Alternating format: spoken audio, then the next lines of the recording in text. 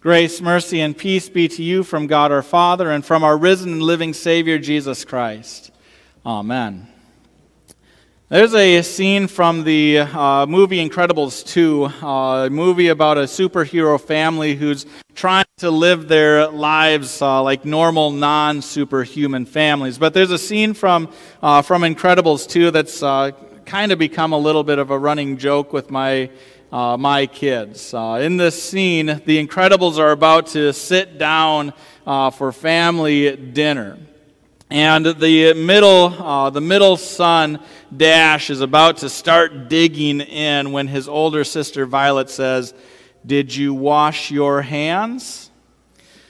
And Dash gives her an annoyed look, gets up and runs to the bathroom and back again in about two seconds with his superhuman speed. And he's about to dig in again when Violet says, With soap?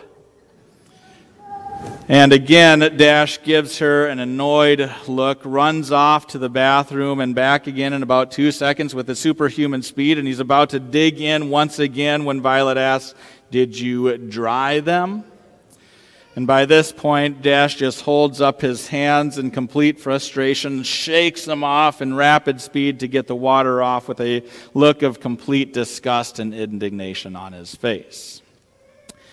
And in a similar way, uh, the Pharisees and the scribes uh, had questioned Jesus about uh, his disciples washing their hands. They saw that some of his disciples ate with hands that were defiled, that is, unwashed, and they asked Jesus, Why do your disciples not walk according to the tradition of the elders, but eat with defiled hands?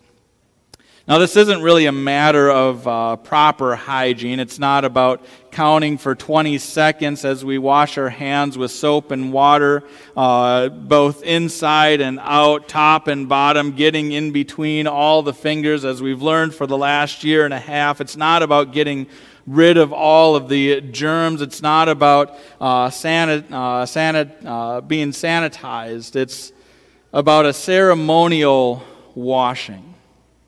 It's about being fit to come into contact with the sacred, about being fit to come into the presence of God. And so, these religious leaders, uh, for them, it wasn't so much whether or not the disciples had been washing their hands, but it was all about them properly washing them. Were they living up and washing their hands according to the standards of the religious leaders, or were they uh, being cleansed or good enough for God? And so the scribes and the Pharisees, they were concerned about external things, external matters, how things looked from the outside. And we too can uh, easily fall into that same mistake. I recently saw this uh, meme coming through my Facebook field depicting a, uh, a rough and rugged looking man, tattoos all over the place, uh, sitting uh, in between two uh, proper and prim uh, groups of Christians dressed in their Sunday best. And the Christians are looking at this guy, wondering, can this guy really be a Christian? While it's the rough and rugged guy who has given his heart to Jesus.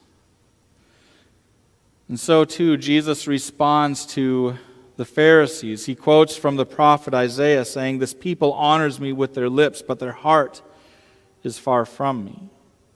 In vain do they worship me, teaching as doctrines the commandments of men.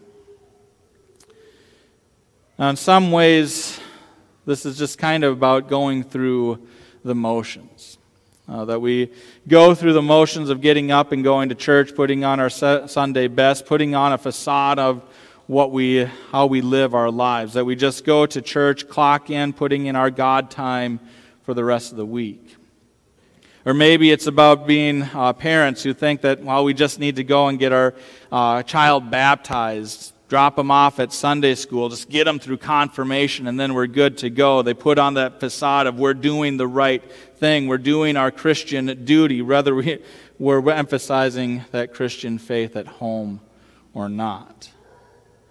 Or we might think that we're uh, good Christians so long as that we're being nice and kind to one another. That it doesn't really matter what we believe, just so long as we're nice. It's all about putting on that external facade to make us look good, to make us look like we're doing the right things, that we're following all those rules and regulations uh, that we have created in our own hearts.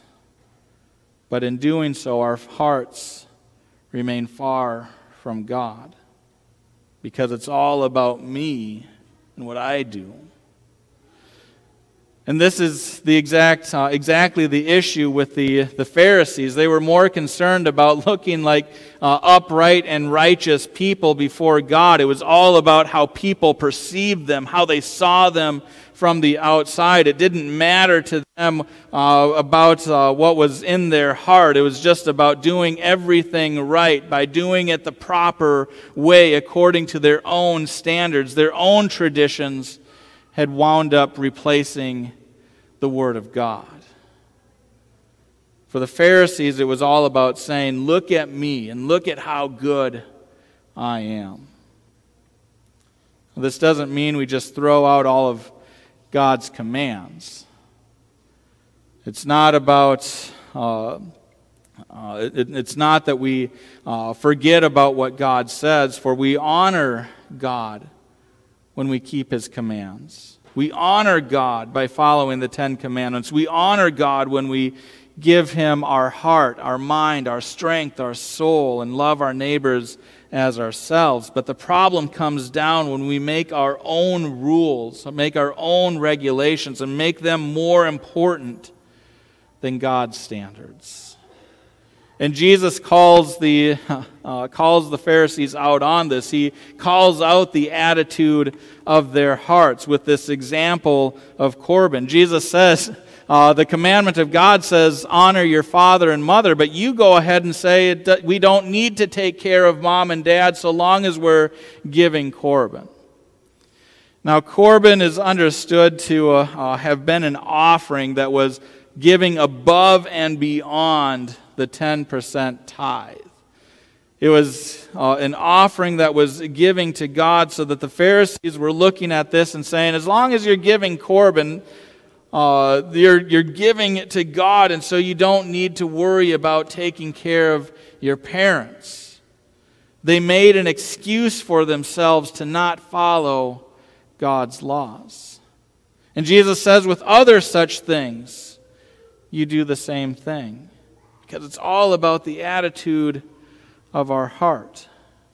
That attitude that replaces God's word with our own word.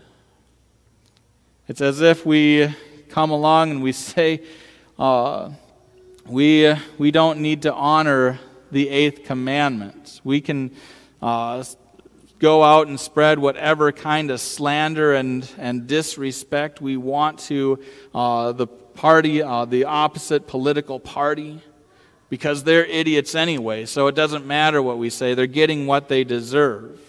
Or when we go out on the fishing boat thinking, I can worship God and honor Him uh, because I'm out in His creation. I don't have to go to church. Or we listen to society's rules that say uh, we don't, uh, you don't, uh, it, it's all right to live together before marriage because everybody's, do, uh, everybody's doing it. Or we say it's my body. And so we make the excuse that it's okay to end the life of a child in the womb. And with other such things, we make our own rules, our own commands, our own ways that makes excuses to not follow God and His commands. And when we do that, it just places a heavy burden on people. When we follow those rules and those regulations, the Pharisees were putting rules and regulations on the, uh, on the people to live up to their standard. That standard of looking good. And it was just like Dash to his sister Violet, who became indignant and angry and annoyed with her because of that burden of the law and those rules that the Pharisees had placed on the people.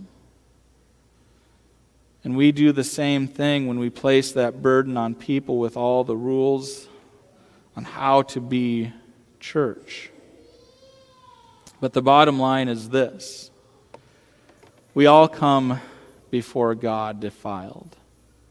We all come before God with unclean hands, and more than just unclean hands, but completely defiled bodies, both inside and out, because of our sin.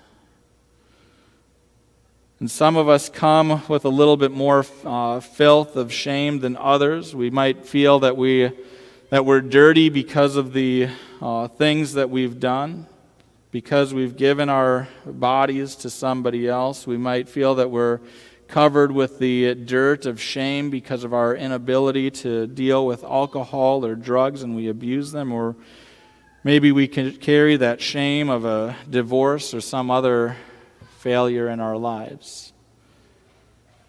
And so we don't feel worthy of coming before God, that we can't have contact with Him.